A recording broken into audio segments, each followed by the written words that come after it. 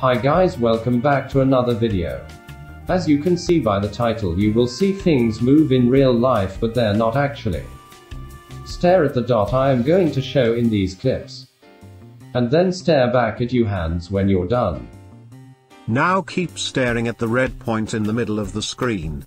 And don't blink till I say you to see your hand.